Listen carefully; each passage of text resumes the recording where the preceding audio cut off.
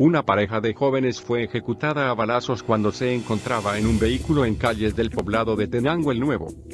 Los hechos tuvieron la noche de ayer, martes, sobre la calle 20 de noviembre del poblado en mención, cuando eran alrededor de las 22 horas. En un momento determinado, sujetos armados a bordo de un vehículo llegaron y sin mayor preámbulo abrieron fuego en más de 10 ocasiones contra el auto y las víctimas a bordo, dándoles muerte para después darse a la fuga.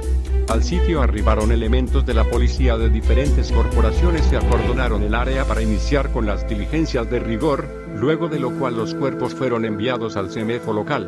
Más información en el blog del narco.com.